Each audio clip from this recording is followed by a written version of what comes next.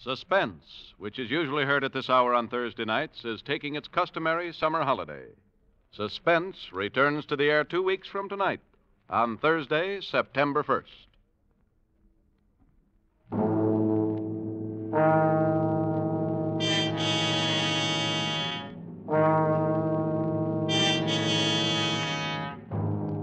You are standing at the doorway of a cabin on Cashier Creek.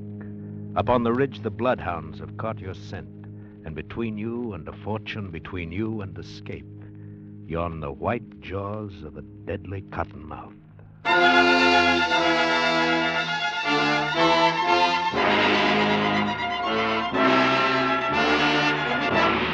We offer you Escape, designed to free you from the four walls of today for a half hour of high adventure.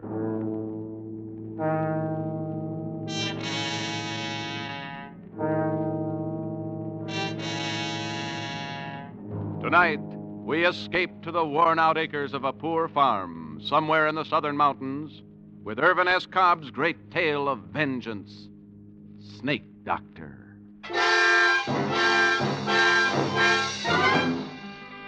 Far back in the southern mountains, it's quiet and hot and lonely. One pine scarred hill is very much like the next, and one winding creek differs little from another.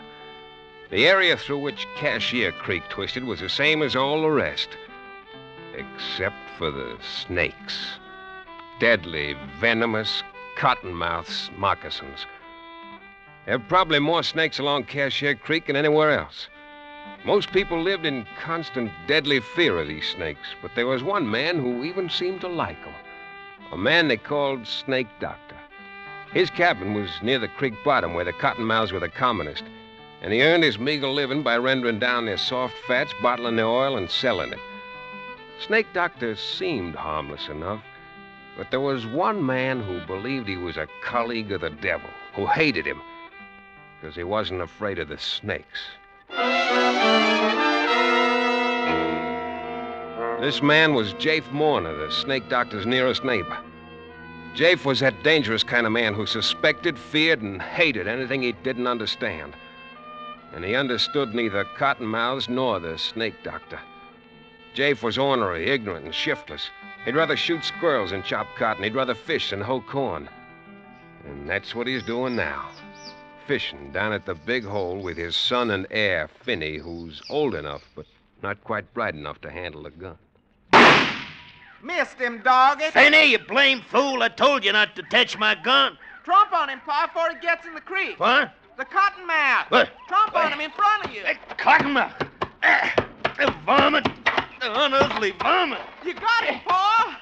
Keep your foot on him whilst I fetch a stick. You don't need to, son. He's dead. Now come here.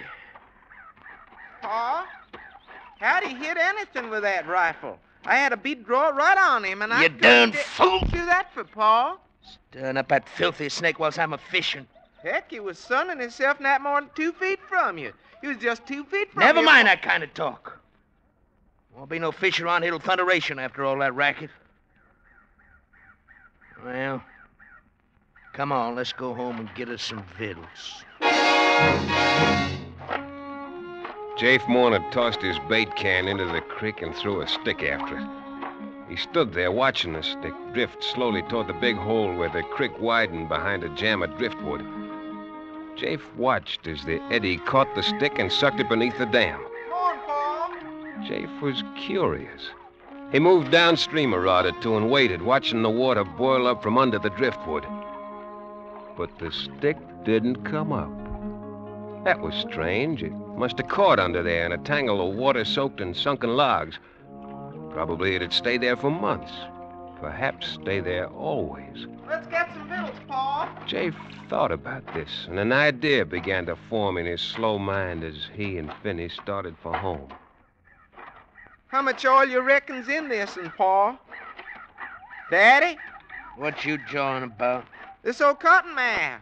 How much oil you reckon's Throw in- it down. Throw it down? Why for? I'm gonna Throw it down like I say. Oh, I was aiming on rendering the old cottonmouths fat like the snake doctor does. I was gonna sell it and make myself some money. I don't like the squirming things around me. But it's dead. Leave it where it dropped. You scared on Cottonmouth's paw? I know better than to get myself bit by him. Tip Bailey know the fella got himself bit once. Wearing a drapper liquor for miles. So he goes to work and he cuts open a live chicken. And he put on his leg where the bite was. Fella lived, too. Uh, Reckon Mr. Rives ever gets himself bit? I mean, handling Cottonmouth like he does? who? Mr. Rives? Who? Mr. Rives. That's old Snake Doctor's real name. Ma says I oughtn't call him Snake Doctor. Never mind what your ma says. Nobody in my family's calling no snake loving scum Mr. Rives. Heck, that's what I say. All right. Would have made myself some money renting that cottonmouth fat down in the oil. I How much you reckon old Snake Doctor makes out in all he sells? I don't know. Tip Bailey says old Snake Doctor's got more than a thousand dollars hid away somewheres in his cabin. More than that, most likely. Cussed old miser don't spend nothing. Ain't got nothing save that rack of bones mare of his'n. Tip Bailey says whenever old Snake Doctor sets foot out in his place, he's got the granddaddy of all cottonmouths that he leaves out in the cabin to stand guard over his money. Yeah. Tip Bailey says he'd seen old Snake Doctor put 'em in his pocket. Live ones, too. Snake doctor ain't fitting to be live himself. Ma says he ain't so bad. Says he don't mean nobody harm. Your ma better be careful who she's associating with. She says he just don't have good sense. Had the fever too much. Daddy, you ever been in Snake Doctor's place? I don't have nothing more than I have to to do with that snake loving hoodoo. Tip Bailey says he bet it wouldn't be no task at all for some no good to poke around the Snake Doctor's shack and maybe find all the money and make off with it. Hmm. Blame son's near rendering me down. Look at my head, full of sweat. Look, Daddy, Huh? see? Full of sweat. Darn near a guard full of sweat come off. Why turning down that way, Pa? Coming on noon, dinner be most ready. I'm gonna tell the snake loving hoodoo that there's some of them cottonmouths on the creek side of our deadening. He knows that. I'm gonna tell him he's got my leave to catch him. You don't need to come along. Well, if you're going over to his place, I'd kind of like to see it for my own say.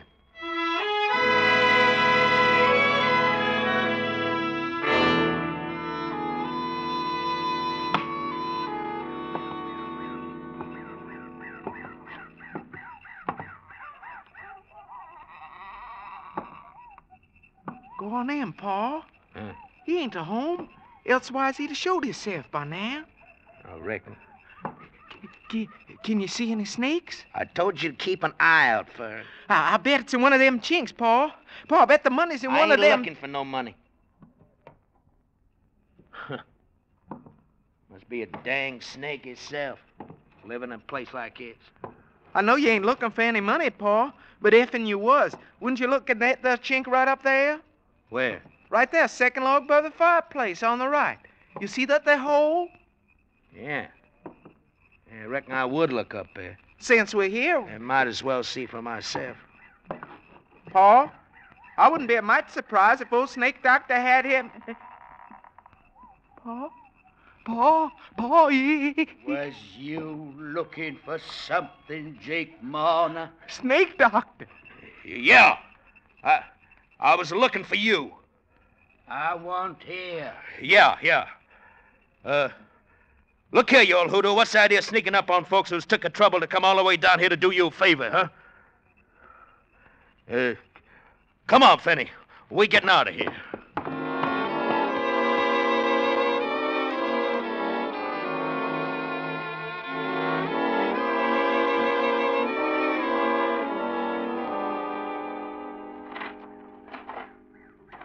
Yes, sir. Like as not, he had a dang old moccasin squirching round in his pocket whilst he was talking to you.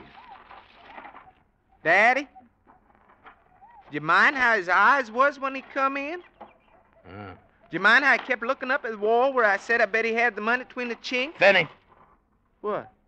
don't you say nothing to your ma about us being at the snake doctor's place. You understand? Why should well, I? just don't. And don't you go nigh it again. Cuss old varmint. You'd have thought we was prowlers way you acted. Yeah, prowlers. Ma, dinner about ready. Your Paul with you, son? Yeah, I got time enough for dinner to go down the spring and get me some cold water. If you stir your stumps, you can. Catch anything, Jeff? Now, you think I can catch fish with Fetty fine off my gun at cottonmouths all the time? Oh, ain't this heat more'n a body can bear? Ain't Any cooler but the creek? Uh, That poor old Miss Rives come by here a spell ago, mighty nigh shook to pieces with a chill.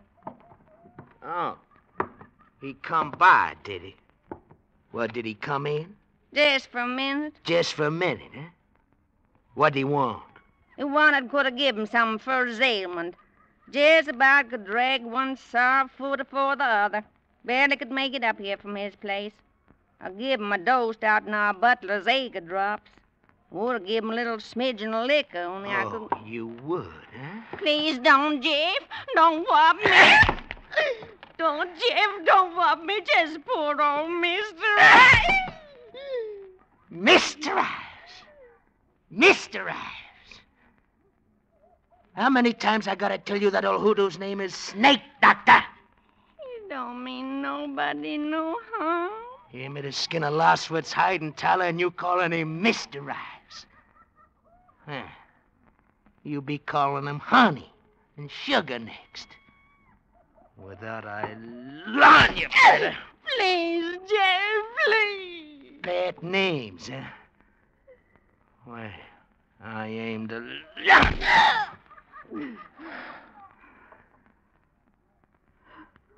What's his name now? Well? What's your poor Mr. Rives' name now?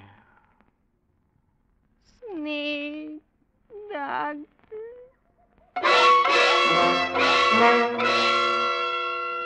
Kizzy Mona rubbed the ugly red welt on her scrawny arm and gave the frying pan full of sizzling side meat a hopeless nudge. She prayed that time and food might take the edge off Jabe's temper. Finney slouched in from the spring, saw the mark on her arm. Pa been whomping you again, Ma? What'd you do this time? She silently dished up the hogback and cornbread for her two men. While they sat at table, she ate on her feet, serving them between bites, as was the custom in the Morner household. After dinner, Finney stretched out under the chinaberry tree, and Kizzy sat on the porch, fanning herself and dipping snuff with a peach twig, scouring it back and forth on her gums. Jave took his ease on the floor of the back room, but he didn't sleep. The meanness was stirring in him, and his hatred of the man he couldn't understand, the man who'd got rich off of cottonmouths. His mind was working on something he'd seen that day and another thing he'd heard. He was adding them together. That stick that had disappeared under the log jam, and the snake doctor's money. It was four o'clock before any of them moved, and then Jave spoke to his wife for the first time since noon. Busy? Where's that there vial of drinking liquor? By the window. You took it out in your pocket before you laid down. I ought to carry a vial of liquor with me. I might get bit by a moccasin as soon as Paul would. You better not let me catch you. You find it, Jeff? Yeah, I just remembered. I won't be needing to tote no spits along with me while I'm going. I wouldn't take no chance, Dave. Just one cottonmouth bite. Cottonmouth's all down the slashes, else along a creek. Well, I'll be all this evening's up along Bailey's Ridge in the high ground. You fixing to go shooting? Yeah. Aim to gun me a chance of young squirrels twixt now and dust time. Heard 'em barking all around me this morning. Reckon I'll come along, You stay in here, son. Oh, dang it. It'll be steaming in the place when the rain comes down. Pa, you might be needing me just... You stay here. Oh, dang it. Kizzy, you set me up a snack of cold supper on the chef. Likely I won't get back till it's plumb dark. Uh.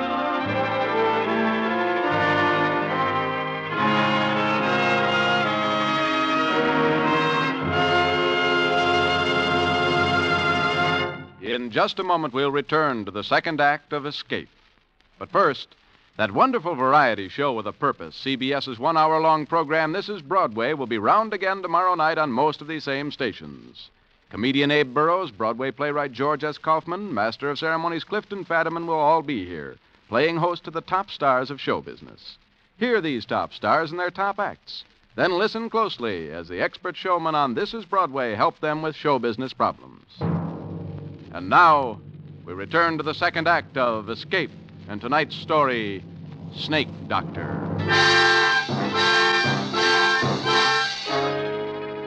Jafe Morn had turned north through his struggling corn rows, and in a minute he was lost from sight. He kept on for nearly a mile till he came to a wild red mulberry tree. Where there are mulberries, there are bound to be squirrels. Very neatly, he shot two young grays right through the head. But Jafe was a master marksman. And unsuspected by any who knew him, Jafe had another quality. One that made him more dangerous than the rest of his kind. Jafe had an imagination. Today it was in excellent working order. He tied the brain squirrels together and swung them over his shoulder. If needed, they'd be his alibi. And then he sat down under a tree for a while.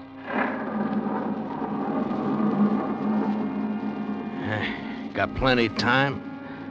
Don't need to get down to Snake Doctor's place till about dusk. When he comes out to feed that swayback mare of his. and- Mr. Ryan. He sat out two brisk thunder showers and the intervals between them.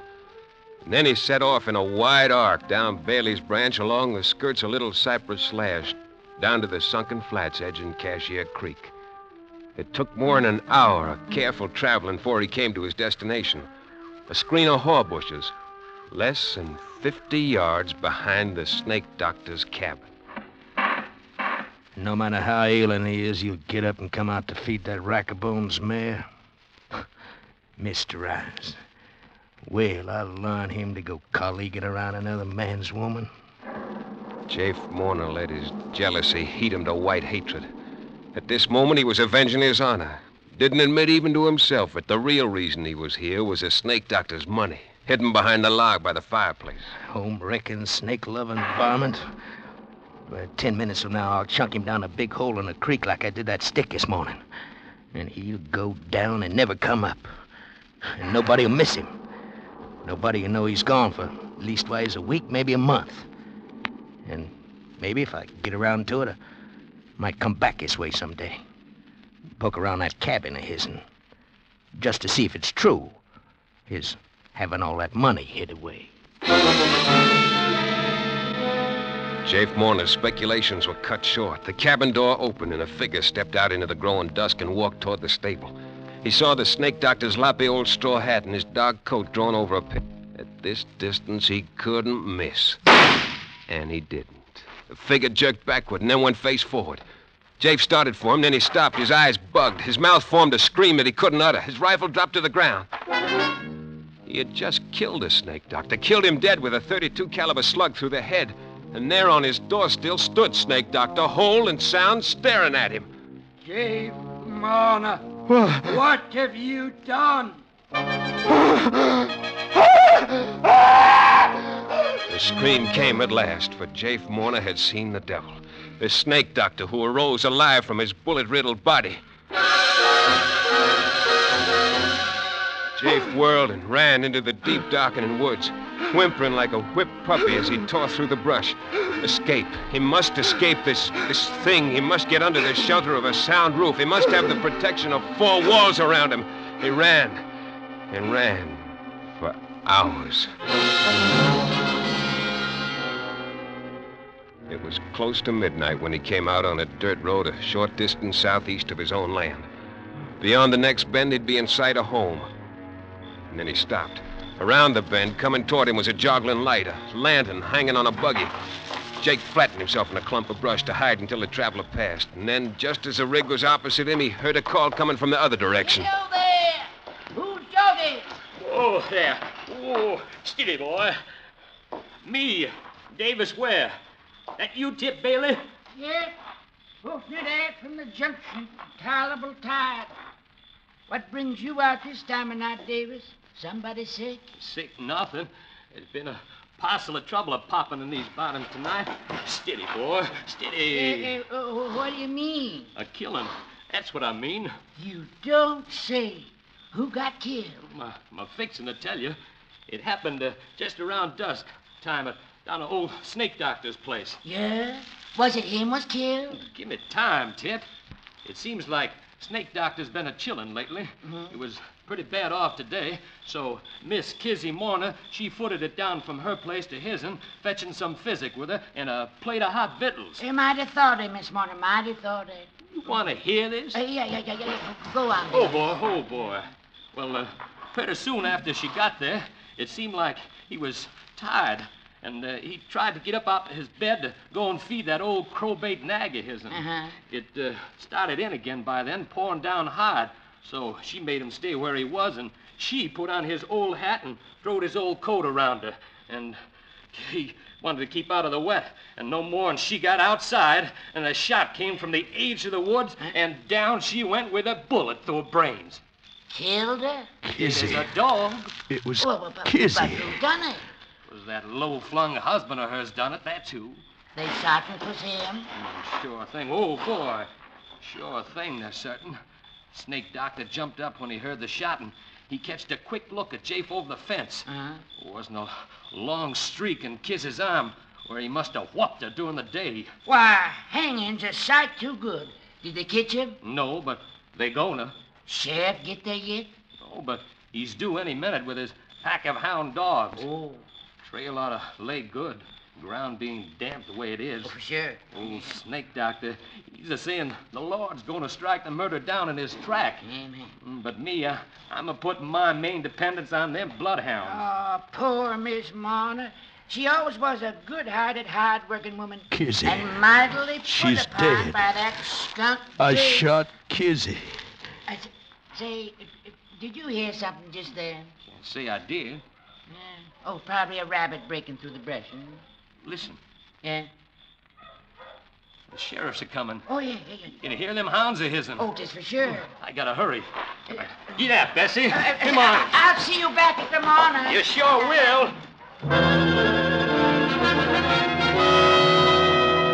Jafe didn't waste no time mourning his dead wife. He had a chance against a pack of bloodhounds if he started right away. But Jafe's imagination went to work again as he backtracked along the creek bottom in the spotty moonlight. Gotta throw those dogs off the trail. You gotta wade the creek, even if it is full of cotton mounds. Must be all around me now. Folks say don't strike no water. Hope them folks is right. Yeah, I gotta get back to the snake doctor's. Get his money while he's still up at my place with Kiz's remains. Get his money and the rest will be easy. I'll make for the deep timber, cross country to the river, make it by tomorrow sundown. Hire me a shanty boater to ferry me to the Arkansas side. Will get me a haircut and catch me a train for somewhere else. But I gotta get Snake Doctor's money first. Snake Doctor's cabin was dark and empty when Jafe reached it, only a few dull embers in the fireplace. But he knew where the chink was. He'd find it in the dark. He scrabbled at the logs, felt some bark give, felt the clay mortar crumble under his fingernails. There it was, a Ah. hole big enough for a man's arm. He plunged his hand into it, touched something slick and smooth, and then something sharp plunged into his thumb. At that moment, the fire flickered to life. Jafe yanked his hand out of the hole, saw two tiny bleeding punctures in his thumb. At the mouth of the hole stretched the wide open jaws of a cottonmouth. Worked fast. He felt the pain leaping from his thumb to his hand, seeping up his arm. If only he had some liquor. If he had a fresh killed chicken to slap on the wound, but he had nothing. Then a sharp, horrible pain wrenched his heart, and then a second. And there in the firelight, the huge cottonmouth poised in its crevice. Jafe leaped out of the shack, started blindly for the timber. He staggered, stumbled, then he pitched forward on his face, his open mouth full of weeds and muddy grass stems. The cramping fingers of his outstretched right hand almost touched a reddish black smear on the wet, trampled grass.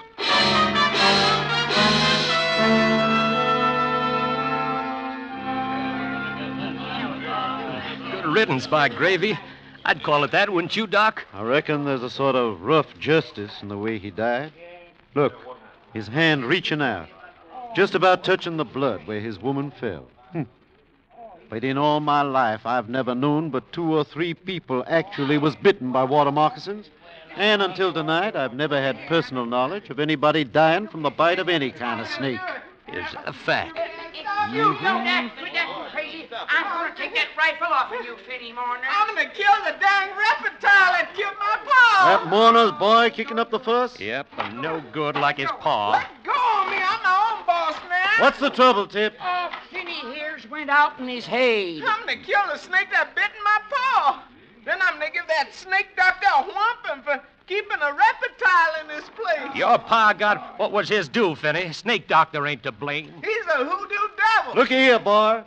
Mr. Rives give me all his savings, nearly a hundred dollars, to pay for burying your mother decent. That's how much he thought of her. Now go on home. Behave yourself. I'm gonna get Go that- on, Finney. There ain't no reason for you hanging around here. Somebody ought to kill that reptile that bit in my paw. Doc, just a minute ago you started to say something about snake bite not killing. But how about them two marks on his thumb?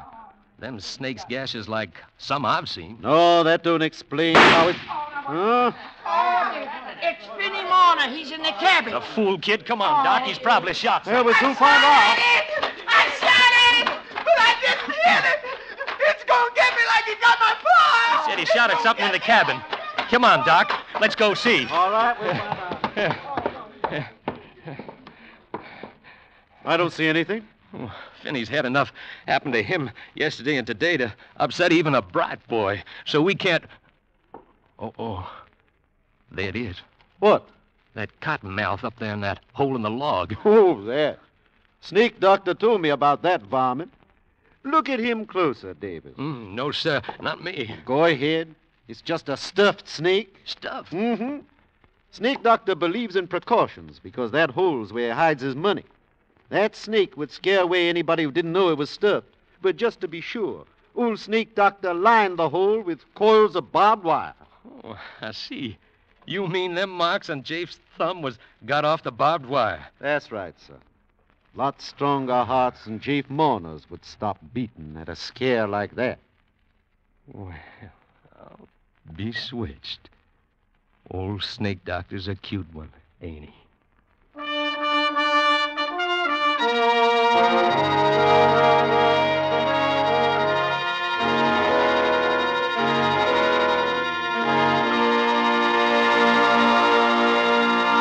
Escape, produced and directed by Norman Macdonnell. Tonight brought you Snake Doctor by Irvin S. Cobb, adapted for radio by Fred Howard, starring Bill Conrad as Jafe with Paul Frees as Finney. Featured in the cast were Ira Grossel as the narrator, Bill Lally, Ruth Perrott, Wilms Herbert, and Edgar Barrier. Music is conducted by Wilbur Hatch. Next week, You are groping through the midnight dimness of a gigantic department store, and suddenly you realize that a hundred eyes are staring at you from the shadows, and a hundred hands are reaching for your throat, and your most urgent desire is to escape.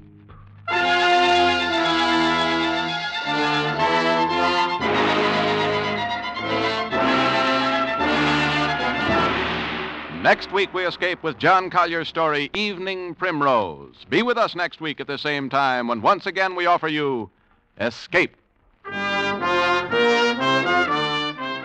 Ethelbert is at the bar, and Anne and Casey are about to enter on another thrilling crime photographer adventure. Tonight, it's a story entitled Big Danger, and it'll be along on most of these same CBS stations in just a moment. This is John Jacobs speaking.